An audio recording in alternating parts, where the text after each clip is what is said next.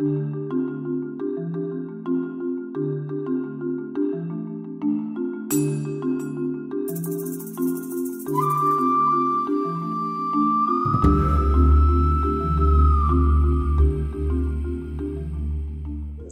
systems are computer systems that typically run either one function or a small number of functions. They interact very heavily with the world around them. Uh, their response tends to be real time.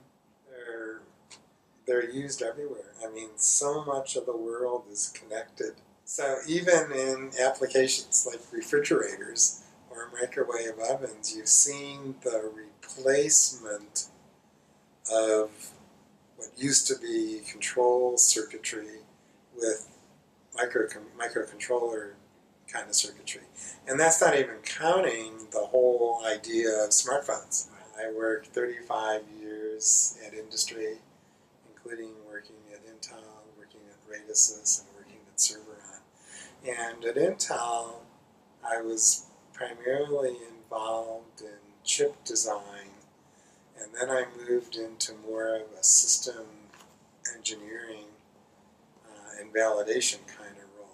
But when I got to Radisys, Radisys is a company that builds embedded systems. And it was that's where really I got my passion uh, for embedded systems because I loved working with that mix of hardware and software. And for me, I loved being able to be pretty close to the hardware. We have a, a, a pretty good embedded system track, I think. It's not, I don't think it's what you would call kind of the classic embedded system track, in, in which case you're, you're taking courses in real-time operating systems and maybe you're working with Arduinos or Raspberry Pis or some kind of single board computer. Our embedded track is built, at least partly, around the idea of system on chip. One of the things that makes our track, I think, a little bit different than some of the other embedded tracks, at least that I've seen other universities do, is we focus as much on hardware as we do on software in that through our core courses, students get experience with everything from assembly language programming to Java. If you're looking for a job in embedded systems, you're not likely to get a job just being a hardware designer or just being a software designer, unless you're working at a really large company. But most embedded system companies aren't that large. And most embedded system uh, projects don't have hundreds of people working on them. They have a few people. So I think our embedded system track, which offers that mix of hardware and software, provides really good uh, skills and practical experience and theory behind how to work as an embedded system developer.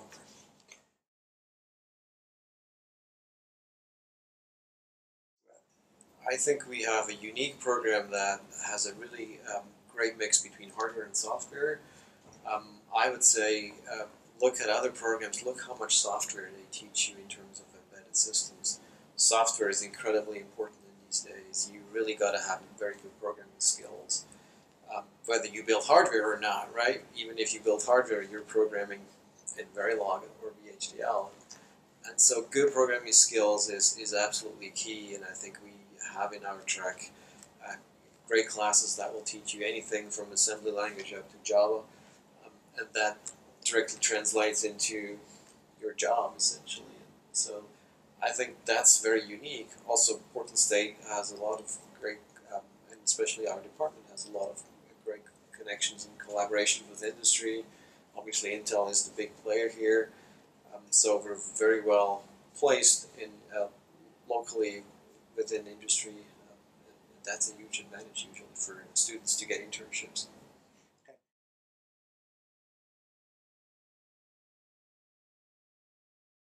So I talked with them and they said, get into PSU and you'll not have a free time to think anything else other than your subjects. Mm-hmm. just you'll be busy with what you want to know. Mhm. So that's why I chose PSU then. Either I go in electrical, electronics, mechanical. There is embedded system associated with their branch as well. They have to even think about that. Like it's not about just being software. Like if you're a CS, being just software engineer application. Mm-hmm. No, in embedded, you have to do the software and you have to relate that with the physical world with your hardware. In software, like computer person says, okay, I'm done with the coding. Mm-hmm. My program is fit. I'm hundred percent done. But the embedded guy, he'll never say. Even if its program is ready, he'll be like, I'm just fifty percent done. Mm-hmm. Now let me try over to integrate it with the hardware and see if it works or no.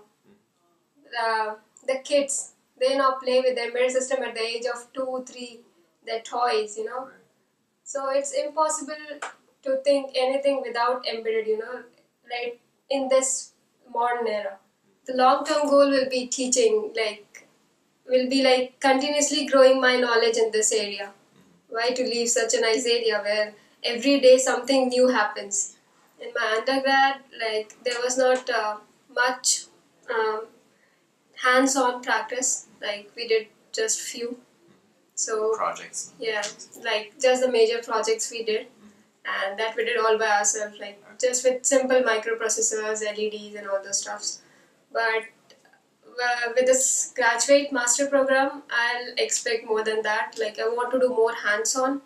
I want to get free with that stuff, and I want to have a proper knowledge of how to properly integrate my software, how you test them, how you check that okay, the software is here, I make that device work what I wanted.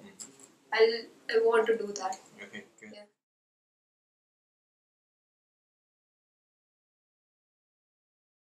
My name is Sandy. I've been uh, working at Intel for last eight years. Initially, I was in uh, IT doing uh, application development. I was a software engineer, and then I decided to go back to school at PSU. And it just so happened that PSU was very close by, and I met Dr. Hall, who suggested I take uh, 371, and I liked that class, so I continued uh, attending more classes at PSU. My uh, favorite one was 540 because it was very close to uh, industry industry uh, applications, and that was the first time I saw an F- actual FPGA board, and this was the class where I learned most of uh, most of the stuff. I think it is a very industry relevant track. Uh, many students who completed this track were able to find jobs in industry like Intel or uh, uh, Model Sim and several other companies, high tech companies. So, and and actually many of the faculties are from industry, which makes it all the more relevant.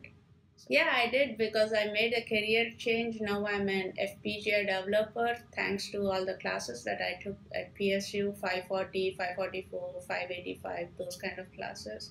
So yeah, I did uh, uh, meet my objectives. So I got what I wanted.